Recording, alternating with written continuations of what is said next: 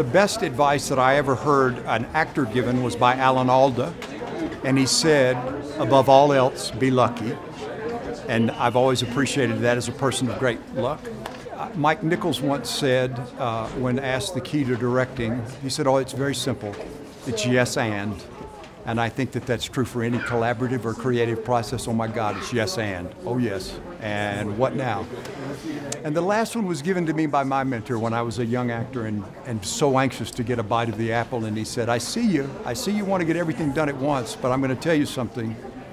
When you, at the end of this journey, it's the road going you'll look back on and cherish, not the getting there. I'm old enough now to be looking back. It's a cherished road going. The people and the projects and the frustrations and the failures and the uncertainty and the expense, it's worth every minute of it.